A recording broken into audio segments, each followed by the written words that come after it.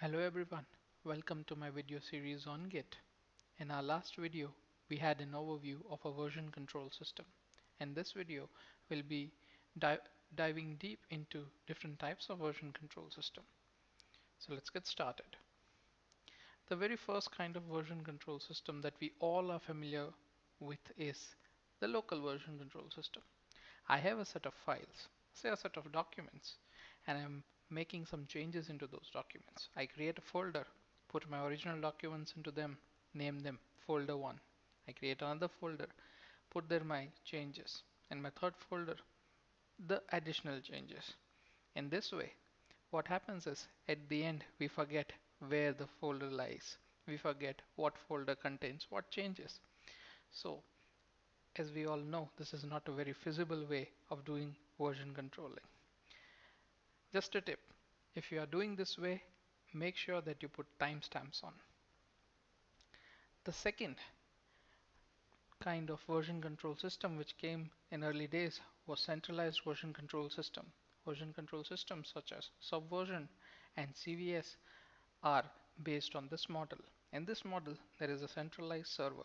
This server holds all the code and their revisions and their history. So there is one central server which holds all the history and the current code. All the users would then hit the server and get the files that they need the central server.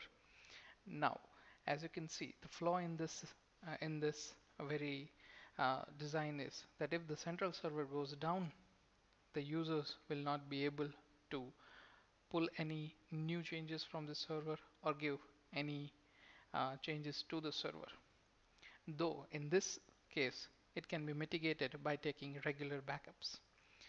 Also, this was an initial concept and the very need for this was that there were various people working with each other and they all needed a central place to put their files and share their files. Also, in those times, what things used to be like everybody would know what the other person is working on and what files they would be changing if not in detail at least to some extent and the administrators can have a fine-grained control on who is accessing what and changing what. So this was quite an effective system. But in, in the recent times, it's not really that recent. Say suppose five, seven years ago, we got introduced with distributed version control system. In distributed version control system, we do have a centralized server, which is not really mandatory. This server can be hosted on cloud and that is also the case with the centralized version control system where the central server is hosted on a cloud.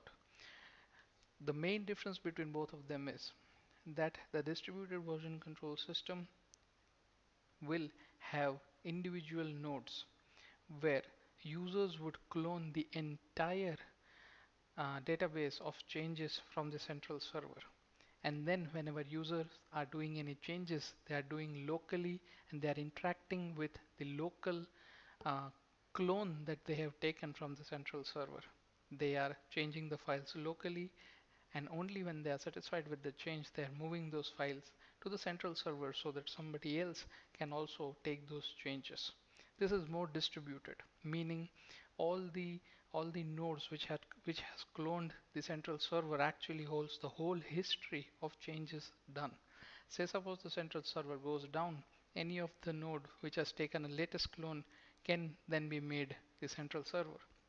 Users can interact with each other with the server, users can change files with each other and this proved to be very effective. There are various uh, distributed version control systems available such as Git Mercurial and Bazaar. So these were the three different types of version control system that are available in the market. In the next video, we'll see what is Git, how is Git used, what are the benefits of Git. So stay tuned. This is Kishan signing off. Thank you.